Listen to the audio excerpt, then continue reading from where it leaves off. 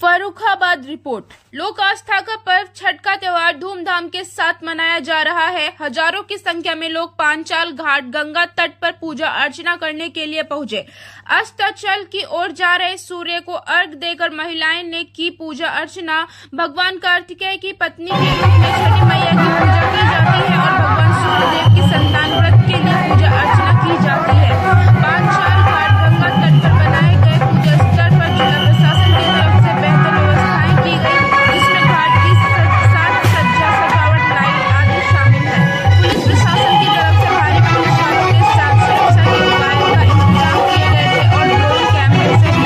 की गई। कादरी गेट थाना क्षेत्र के पांचाल घाट दट गंगा का मामला।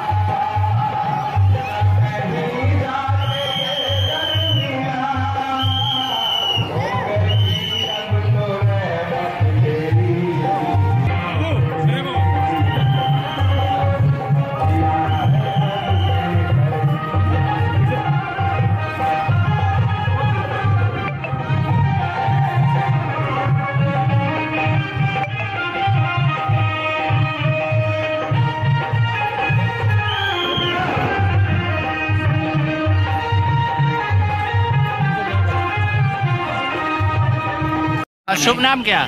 सुमन गुप्ता। अच्छा सुमन जी आज छठ पर्व है।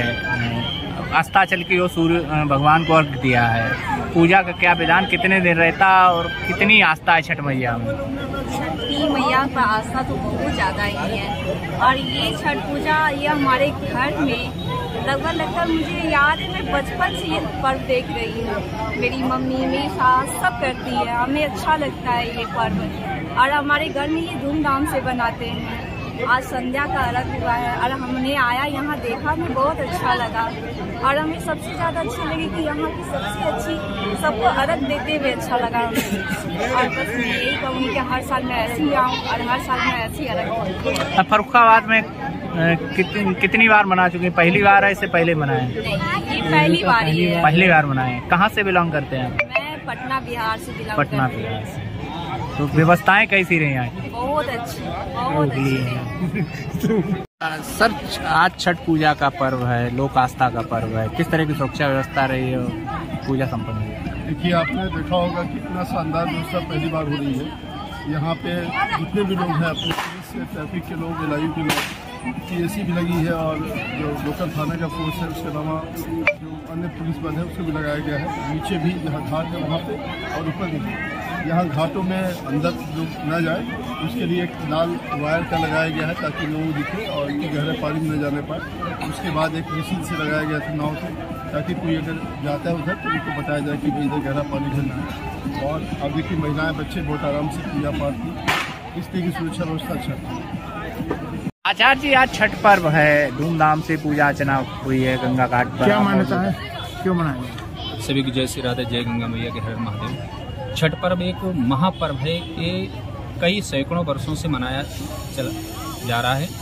ये बिहार से विशेष रूप से प्रारंभ हुआ, जो कि आज पूरे देश नहीं, पूरे विदेश की बात करें, इंटरनेशनल स्तर पर आज के दिन मनाया जाता है। इसमें विशेष रूप से छठ मैया जो है, स्वामी कार्तिकेय भगवान की पत्नी है, उनका पूजन अर्चन होता है और इसमें माताएँ निर- व्रत रहकर अपने आप पूरी शुद्धता के साथ अन्न वगैरह धुलकर उसको कूट कर पीस कर व्यंजन बनाती हैं। उसके माध्यम से आज छठ जो है शाम को पूजन अर्चन करती हैं और अर्घ प्रदान करते हैं भगवान सूर्य नारायण को अस्त होते समय। और कल प्रातः कालीन पुनः सूर्य उदय समय अर्घ प्रदान करेंगे। क्या मान्यता है पर्व के पीछे क्यों मनाया जाता है पर्व? देखिए ये अगर पर्व की बात करें तो बिहार से प्रारंभ हुआ ये भगवान सूर्य नारायण के लिए विशेष रूप से रहा जाता है।